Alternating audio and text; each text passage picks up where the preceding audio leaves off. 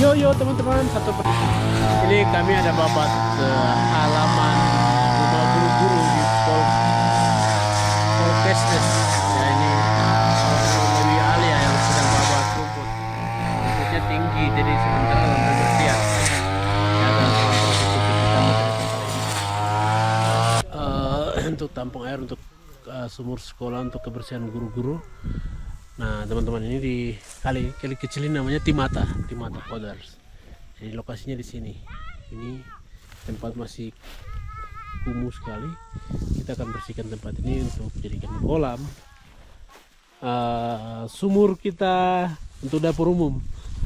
Nah, kita mau bangun dia punya tempat penampu- penampungan air di sini teman-teman terus ikuti proses pembangunan.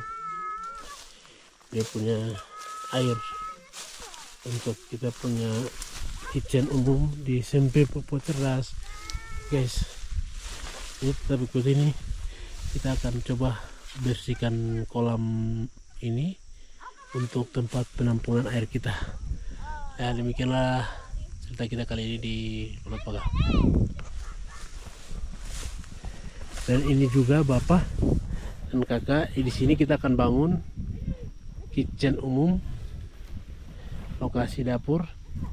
Di sini tempat pencucian. Kita akan mulai babat beberapa waktu ini. Nah ini kita dengan Pak Guru Kabak ini. Pak Guru sehat kah Pak Guru Ya, selalu. Hormat luar biasa Pak Guru. Ini kita mau bangun punya apa? Kitchen untuk kitchen umum untuk kita masak anak-anak kebetulan anak-anak sekolah. Nah, guru ruangan sana ini kita akan pakai untuk tempat tinggalnya anak-anak sekolah. Anak-anak guru-guru, teman-teman guru akan tidur tinggal di sini di kita sementara pinjam Poskesdes Logot Paga ya. Kita akan pakai gedung ini untuk tempat tinggal guru sementara dipinjamkan dari toko masyarakat sini. Ya di sana itu lokasi SD kita. SD Negeri Logot Paga yang kita pakai untuk belajar SMP Papua Cerdas oke? Itulah cerita kita dari gunung teman-teman. God bless Yo yo guys, ini tempat kita dikasih gedung poskes des desa Logot Paga yang dikasih untuk kami dengan guru-guru tidur di sini. Jadi kita cek rumahnya.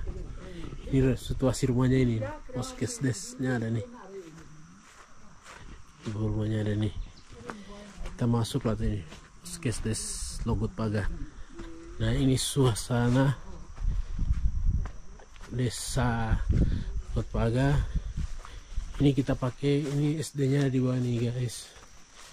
Jadi ini rumah dari sisi belakangnya posisinya seperti begini. Coba kita akan masuk. Oh buka pintu. Oke ini dapur belakangnya guys. Kamar mandinya. Nah posisinya masih kosong. Ini ruang depannya.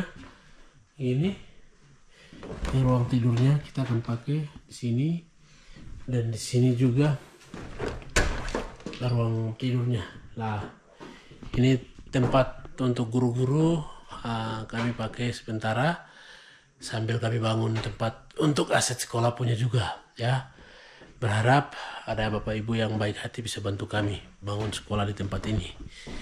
Oke.